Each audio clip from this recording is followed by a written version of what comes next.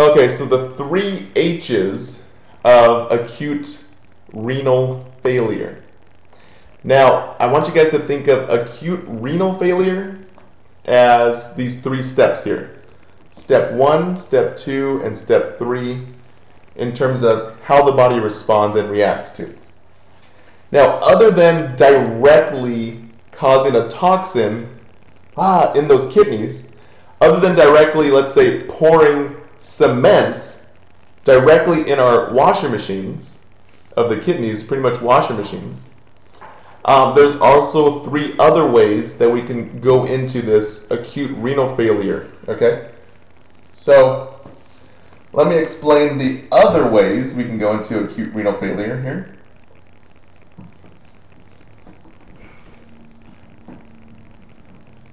So the other ways, I break down what's called the three H's here. Woo. So one H is hypotension. Now hopefully you guys can see this.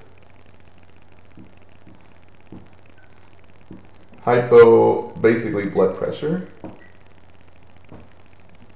The other H is hypovolemia. Hypovolume. And the last H is hypoperfusion. Woo!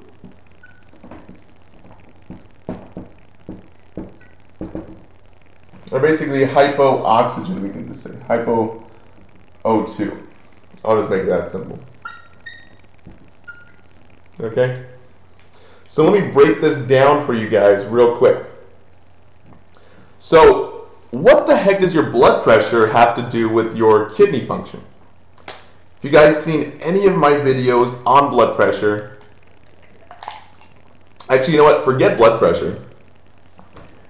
Any of my videos at, at all, probably, you know that oxygen Oxygen is the money. It's the money maker of the body. Without oxygen, your body breaks down and your body dies.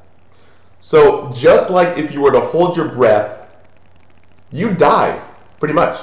If you put a rubber band on your finger, your finger would turn purple and blue, and your finger would die. We have to chop it off, right? Same thing with your kidneys. If you don't bring enough volume or enough pressure to your kidneys, your kidneys are going to lose oxygen, which is called hypoperfusion, and it's going to die, okay? So the main thing that we're concerned about is how much oxygen are we giving to your kidneys? Now, how does oxygen get to your kidneys? How the heck does oxygen even get around the body? Well, if you guys have um, made it this far in nursing school, hopefully you understand that oxygen you breathe in goes down through your tree, your respiratory tract, gets exchanged for CO2.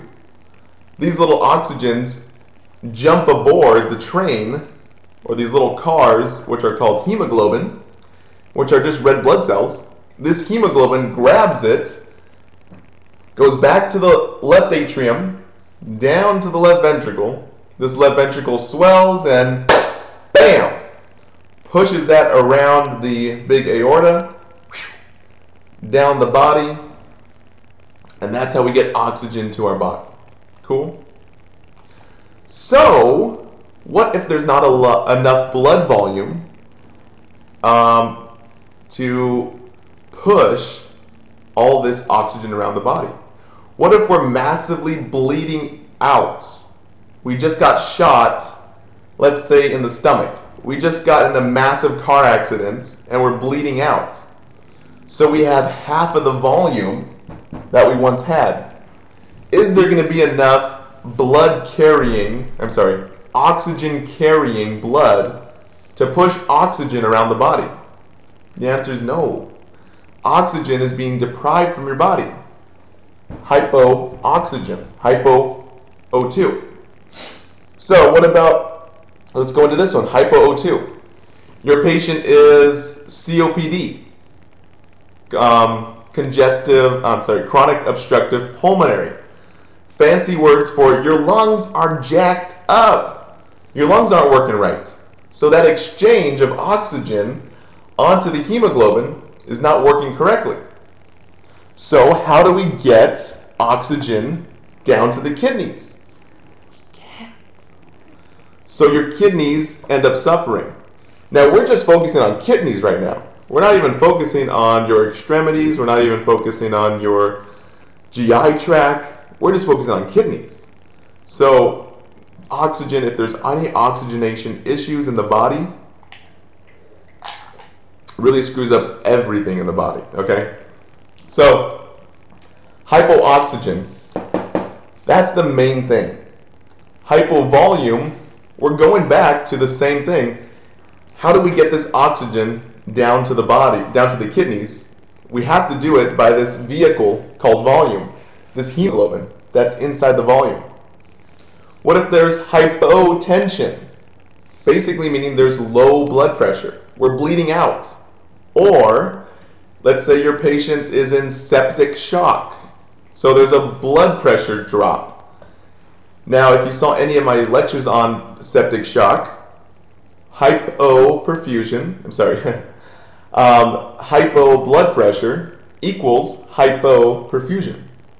So low pressure, low perfusion.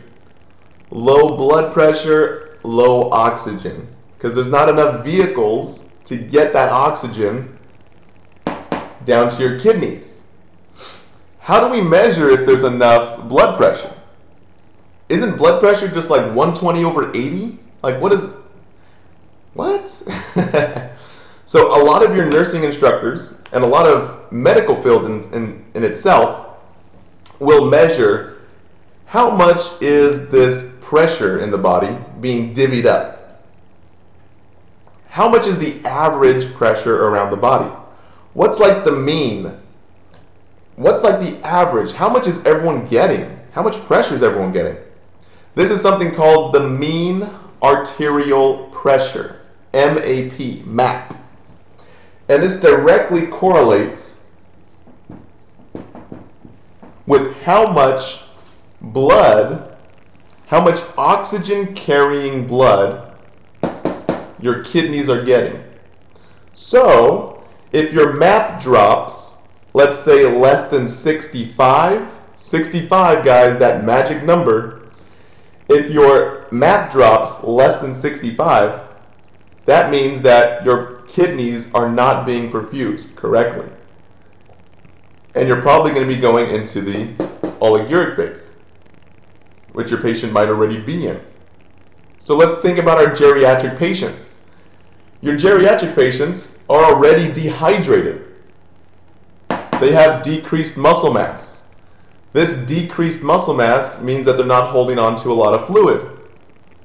They don't want to drink fluid or water, right?